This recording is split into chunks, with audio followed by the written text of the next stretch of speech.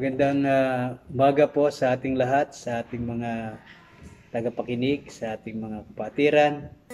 At salamat sa Diyos sa kanyang pagbigay sa atin ng pagkakataon muli na makapagbahagi uh, ng salita ng Panginoon. Ngayon po ay nais kong dalhin sa inyo ang mensahe ng Panginoon dito po sa aklat po ng uh, Aklat ng Gawa, Kapitulo 3, talatang 1 hanggang 10 na kung saan ay dito po makikita natin ang isang lalaking uh, pilay sa sa, uh, sa kulpa sa kanyang pagsilang sa sinapupunan ng kanyang magulang. By the way, nais kong dalhin sa ating mensahe ngayon ang uh, pinumagatang The Healing of the Blind Man.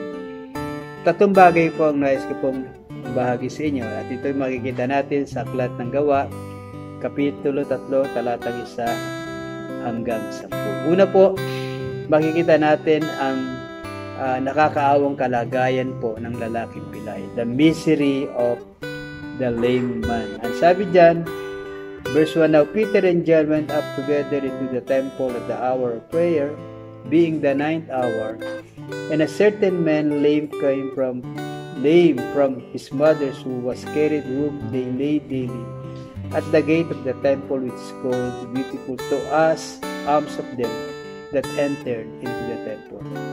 Bakit po misery? Kasi po ang lalaking ito ay uh, wala naman siya nagawang kasalanan para siya ay magkaganito. Kundi sabi dito, sa tiyan pa lamang ng kanyang nanay ay uh, siya po ay uh, pinanganak ng uh, may kapansanan or congenit, congenital ika nga. At ang sabi sa talata, araw-araw po siya ay dinadala doon sa uh, pintuan po ng templo na ang tawag po nila ay maganda or beautiful. Isang dahilan upang manghingi po ng limos to ask alms of uh, uh, of them that entered into the temple. So we can see na sa buong buhay po ng lalaking ito ay siya po ay uh, wala nang ibang uh, ginawa kundi ang humingi ng tulong uh, umasa na lamang po sa awat habag ng mga tao na nakakita sa kanya. At ang templo nga ang kanyang napiling lugar upang uh, doon ay uh, ipaabot ang kanyang pangangailangan. So talagang ang taong ito ay kahabag-habag wala po siyang iniwan sa mga tao sa ating kapasal kasalukuyan ngayon na uh, spiritually ay mga may kapansanan po ano kasi po uh, sa ating sarili wala tayong kakayanan na tayo ay uh, makalapit at tumihingi lamang ng habag sa ating Panginoon at salamat naman sapagkat ang Diyos po ay hindi kailanman uh, nagdadamot po sa mga taong uh, meron lubos sa pagtitiwala sa Kanya. So makita natin the misery of the lame man in verse 2. Sabi dyan, to us alms of them that entered into the temple.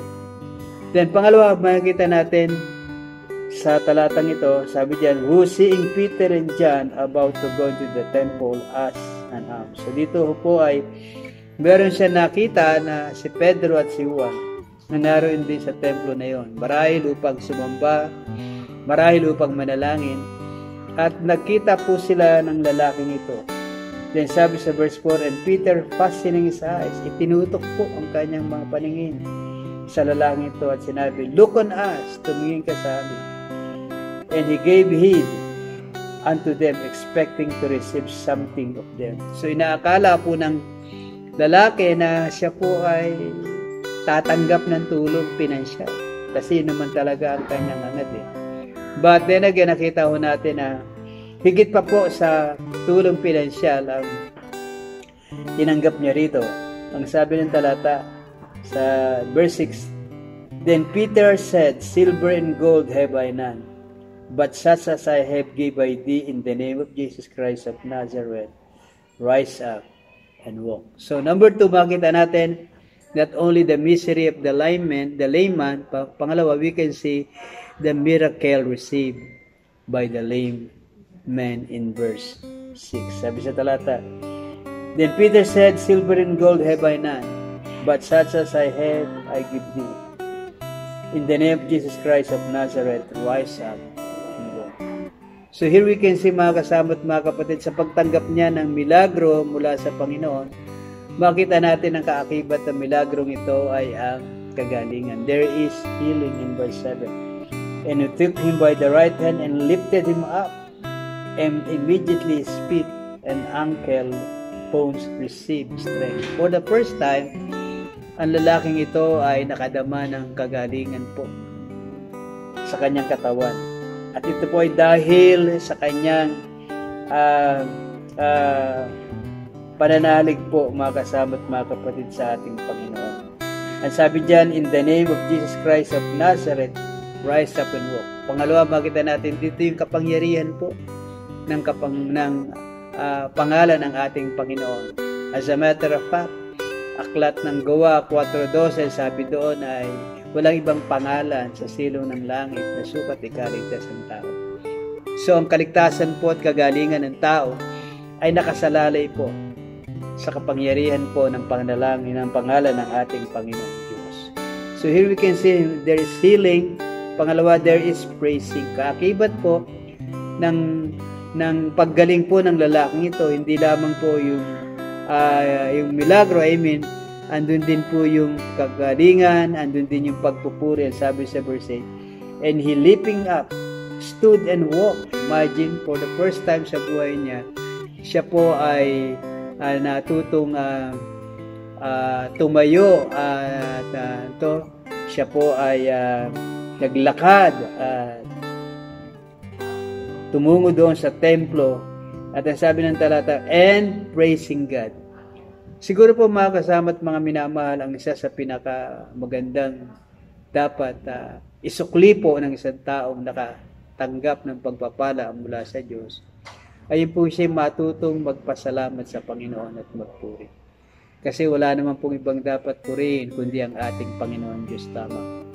So there is misery, there is miracle, the number three, the marvel of the people. Yung po mga tao sa paligid ay uh, uh, nagulat, namangha, ang sabi sa verse 10, and they knew that it was he which sat for alms at the beautiful gate of the temple, and they were filled with wonder and amazement at that which had happened unto them. So here we can see mga kasama at mga kapatid, sa kagalingan po ng lalaking ito ay uh, ang mga tao po ay namangha ang mga tao po ay nagulat.